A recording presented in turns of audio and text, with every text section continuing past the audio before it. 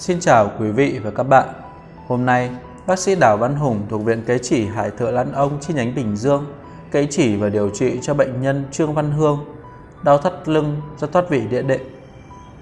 Triệu chứng đau thắt lưng do thoát vị đĩa đệm là do sự thay đổi trong cấu trúc của đĩa đệm bình thường.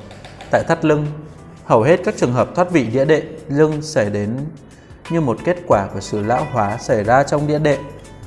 Bệnh thoát vị đĩa đệm thắt lưng ban đầu có thể chỉ là tổn thương nhẹ dẫn đến lệch đĩa đệm của sống lưng, rồi bệnh tiến triển sang thoát vị đĩa đệm. Chúng ta đều biết rằng cột sống thắt lưng được chia làm nhiều đốt, thường gặp là thoát vị đĩa đệm của sống thắt lưng là 4L5 và thoát vị đĩa đệm của sống thắt lưng là 5S1. Theo số liệu từ Hiệp hội Y khoa cho biết, có khoảng 90% người bệnh mắc thoát vị đĩa đệm của sống thắt lưng L4, L5 và xếp vào nhóm bệnh phổ biến nhất hiện nay. Bệnh ảnh hưởng trầm trọng tới khả năng vận động, nếu để tổn thương lâu dài sẽ gây cản trở hoạt động, thậm chí gây bại liệt. Tất nhiên là khi bị mắc bệnh bạn sẽ bị đau cột sống, đau vùng thắt lưng.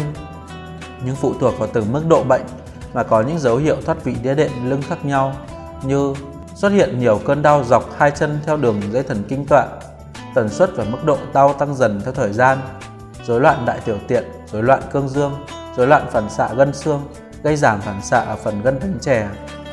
Như vậy, bệnh không chỉ gây ra các biểu hiện thoát vị đĩa đệm của sống thắt lưng thông thường mà còn kéo theo nhiều biến chứng như rối loạn, bại liệt khiến cho người bệnh phải chịu đựng vô cùng mệt mỏi. Có rất nhiều nguyên nhân gây ra căn bệnh thoát vị đĩa đệm của sống thắt lưng. Ngoài quá trình lão hóa tự nhiên, chúng ta còn phải kể đến một số nguyên nhân khác như chấn thương cuộc sống, người có thể trạng béo phì, thừa cân, mắc một số bệnh lý về cột sống như thoái hóa, gai đôi, vù vẹo cột sống. Chúng ta đều biết rằng bệnh đau thắt lưng do thoát vị đĩa đệm là căn bệnh đáng sợ nhất hiện nay. Chỉ những người bệnh đã và đang bị những căn bệnh này mới thấu hiểu được cảm giác khó chịu, đau đớn mà các căn bệnh này gây ra.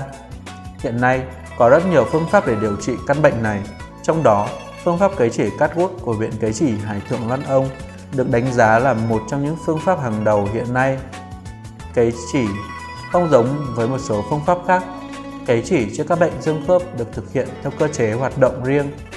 Phương pháp này giúp giảm đau, tăng cường tuần hoàn máu và trao đổi các dưỡng chất trong cơ thể, chống tình trạng kích ứng.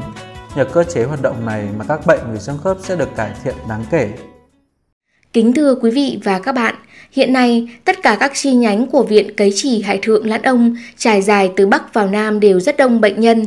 Vì vậy, quý vị hãy gọi tới số hotline 0981 377 470 để nhận được sự tư vấn hỗ trợ tốt nhất. Cảm ơn quý bệnh nhân đã tin tưởng Viện Cấy Chỉ Hải Thượng Lãn Ông trong bao năm qua. Chúng tôi sẽ cố gắng mở thêm nhiều chi nhánh hơn nữa để quý bệnh nhân không phải đi xa mà vẫn tiếp cận được phương pháp cấy chỉ rất hiệu quả này. Viện Cấy chỉ Hải Thượng Lãn Ông chúc bệnh nhân luôn khỏe,